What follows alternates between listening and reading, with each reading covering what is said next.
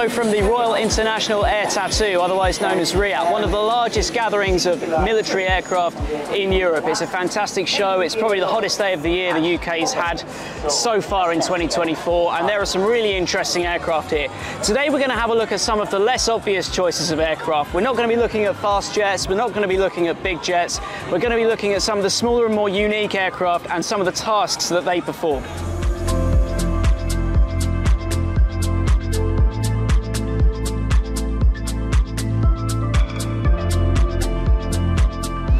Keep up with our content on YouTube, you might recognise this aeroplane behind me. This is the Airbus A330 MRTT, and just a few weeks ago we were in Getafe in Madrid exploring how these aircraft are built or converted from passenger aircraft.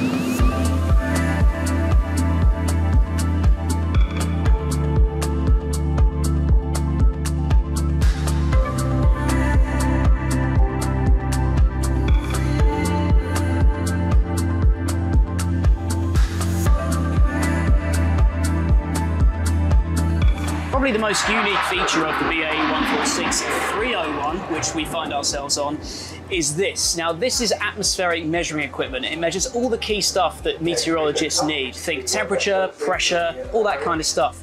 But the most interesting part is how it's put into the atmosphere. This is ejected from the aircraft whilst the aircraft is pressurized using this tube. Think of it as a kind of upside down torpedo tube. So equipment goes in, seal it up, fire it out. Drops out the bottom of the aircraft. Amazing stuff. This isn't any British Aerospace 146. This is the first British Aerospace 146 to take to the air, the first one to actually fly. So it's technically a 100 series that's been upgraded to what is now called the 301. And essentially that's involved re-engineering the aircraft, stretching it to the length of a 300, and including quite a lot of funky stuff in the cabin.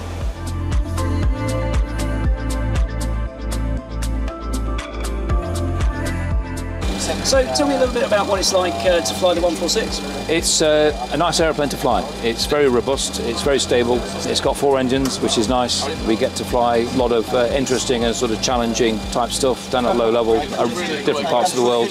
So it's great fun, it's very enjoyable, and it's um, probably the best flying I've had outside the military in terms of challenging and interesting things to do and nice places to be. And what, uh, you talk about low flying, how does, how does that actually look? Like, what, what do those kind of missions look like?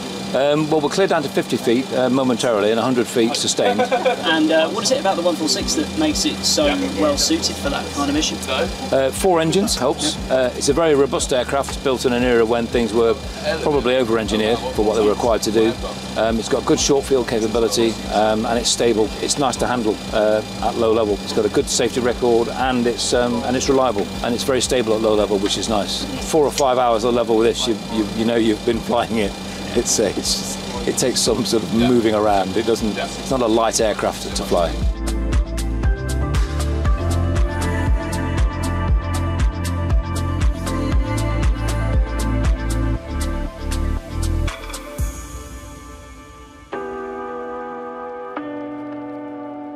a unique four-engine aircraft. It's our job to learn about the weather by flying through the weather. So we've got a fit of scientific instrumentation mounted on the outside of the aircraft and in the cabin that lets us measure lots of different parameters about the weather and atmosphere to help us uh, with universities and the Met Office with understanding weather systems and climate change.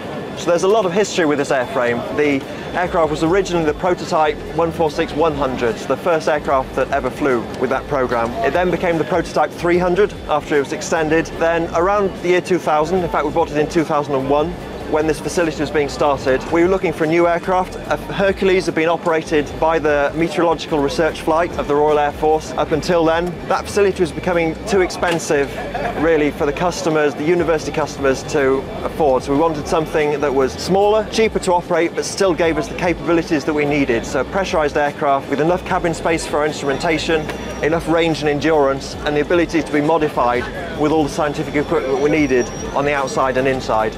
We fly a huge range of different missions for lots of different university and research customers. So we can reconfigure the aircraft for each scientific mission and they can be anything from um, looking at the monsoon season in India through to studying uh, pollutants around the city of Birmingham and everything in between.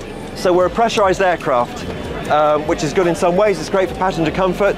We can put instruments on the inside that um, are okay to look through a glass panel.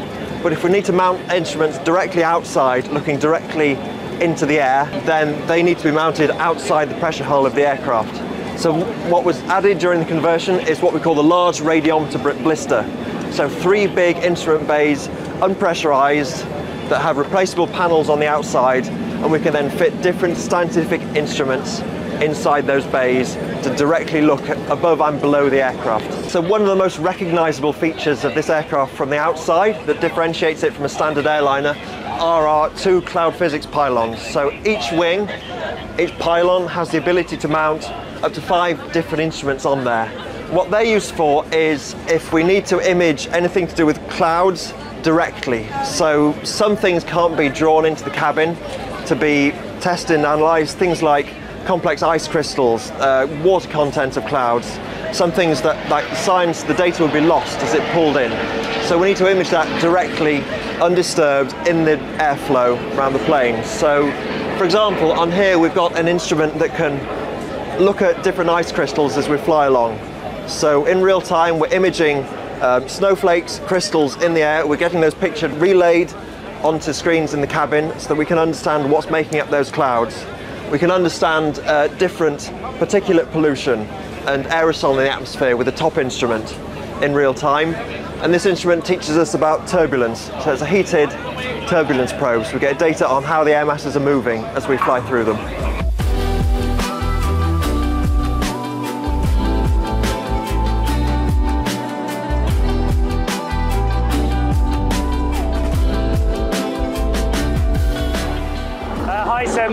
Beeden. I'm the Flight uh, Operations Manager with the British Antarctic Survey based in Cambridge. And uh, it's my job to uh, firstly organise the ferry flights, so getting the aircraft from Canada to Antarctica and back every year. And then a lot of the science that the aircraft do uh, is also my job to organise and coordinate that. And I'm based in Cambridge and I've been in the role for about uh, six years now. It's quite a lengthy process. We've got a fairly well planned and trodden route that we do each time, but it does vary a little bit from year to year. So the route at the moment is about 12 days flying, 55 hours, give or take. And uh, for the southbound route, the aircraft will fly from uh, Calgary and then make three stops through the United States, across the Gulf of Mexico uh, to um, uh, to Cancun area, and then from there down to Panama, uh, Panama down to Peru, and then there's four stops making uh, the aircraft's way down through the spine of Chile, and then the final leg is from uh, Punta Arenas in southern Chile to Antarctica. So it's quite a long, it's quite a long trip.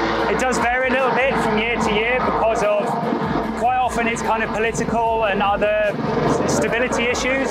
So depending on what's happening in a country, for example, we may have been going to a certain country for quite a few years, something happens there and it's deemed not safe to go, so then we'll go somewhere else. So it follows a similar line down through the Americas, but over the years there's lots of places that we've gone uh, that maybe we don't visit anymore, and I'm sure that will continue to change. Um, yeah, so it's quite a varied and interesting route. So a couple of years ago, one of the aircraft was in North Dakota, and it was about minus 41, I think. It's far colder than anything that they'd normally experienced during their Antarctic flying.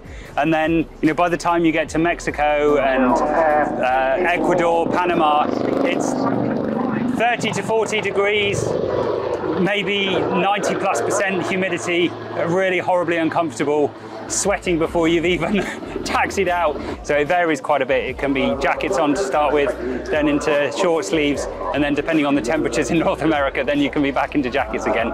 It varies from, from ferry to ferry, really. Yeah. So the British Antarctic Survey is the UK's kind of presence in Antarctica, essentially, um, and we operate a number of research stations uh, in Antarctica. Our main one is Rothera Research Base, and uh, Rothera is open throughout the year. So this time of year, we obviously summer here, but that's uh, winter time in Antarctica. There will be somewhere between 20 and 40 people on station, so it's kept active. But um, of course, it's very cold, very dark, and then once we get into our autumn, we're coming into then the Antarctic spring. So then our season is all kind of gearing up. So that's when it goes from essentially the winter quiet time into the summer busy time. And it can peak at, I think someone told me recently that it was getting up towards 200 people will be on station. It's quite interesting kind of describing because I've seen it myself. But some of the people I've spoken to today, it was fascinating because I almost had the impression that they thought that our presence in Antarctica was fixing aeroplanes out on the ice. There's some huts and you know that's kind of really it. But the Rothera base is actually a, a remarkable place. So we've got a gravel runway um, that we fly this aircraft and the Dash 7s from, and indeed visiting aircraft use it as well. But have full maintenance facilities and hangars. Um, but then there are the things that you would expect. Essentially, if you had a, imagined a tiny town that could accommodate up to 200 people, you would have a canteen, a library, a games room, you know, uh, chill and rest out areas, pool tables, um, a gym, uh, right the way through to all the accommodation, people's working spaces, loads of storage areas, places where waste is processed, kitchens, yards and um, buildings where we keep boats and uh, mechanical equipment.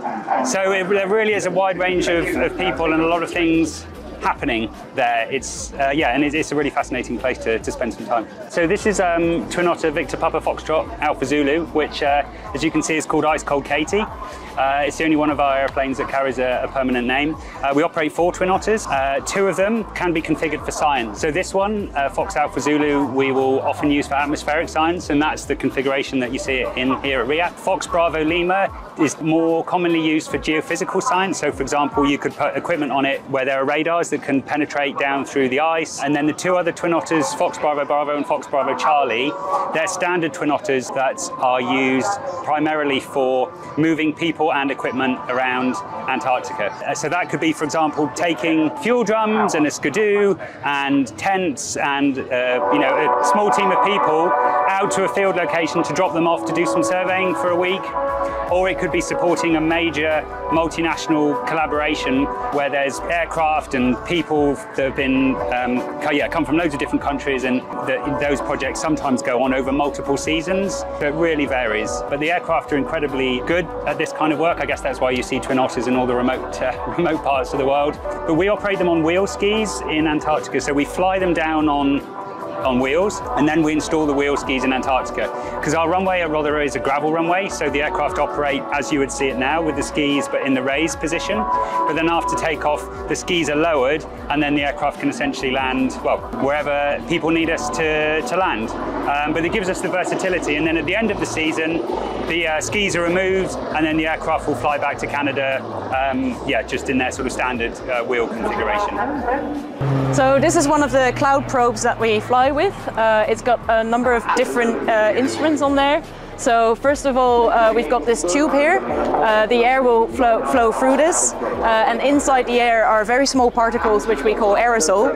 And aerosol are actually uh, very important ingredients for clouds to form on. So they act as a cloud condensation nucleus, so water droplets can form on there, or they can act as an ice nucleating particle where ice crystals can form on. This here measures the uh, size distribution of all of these particles that can act as a cloud forming nucleus in, in the atmosphere. Then we've got uh, this probe sticking out right here that measures airspeed basically. And then we've got these two here. Um, here also the um, different particles will flow through, but actually it's an imager. So what we're particularly interested in is the size of crystals and um, the shape of different crystals that are inside the clouds.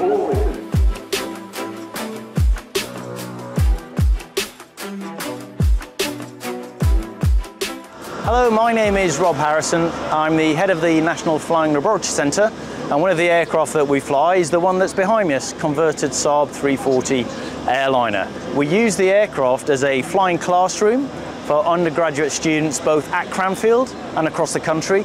We also do research work with it and we're utilising the aircraft as a STEM outreach tool with our SATCOM system. The aircraft that preceded it was the Jetstream 31, a 19-seat turboprop aircraft. Um, it was coming to the end of its useful time and we needed to find a replacement. Cranfield and Saab have a, a strategic uh, agreement with each other. We were looking for a new aircraft and Saab said, we think we've got one in the hangar that might interest you. Um, for us, A turboprop is great for a flying classroom because not just the aerodynamics of a normal aircraft, but the propellers make it more complicated. And when you're trying to demonstrate things to students, it just really helps to, to show them that added complication. So one of the exercises we do with the students is we demonstrate something called a phugoid. And what we do with the aircraft is, is we set it up in straight and level flights with no autopilot, all in trim. And then the pilots will raise the nose nice and high and then just let go. And then we see what happens.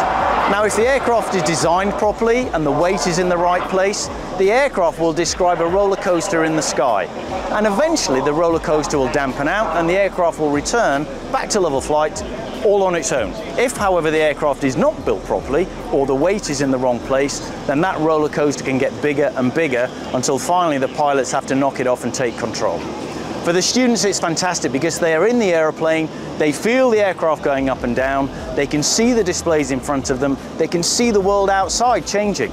So it's a fully immersive experience for them. And it's not something that can be replicated in a simulator, flying a drone, that sort of thing. So for us, we think it's a really essential part of a student's education to feel this thing for real.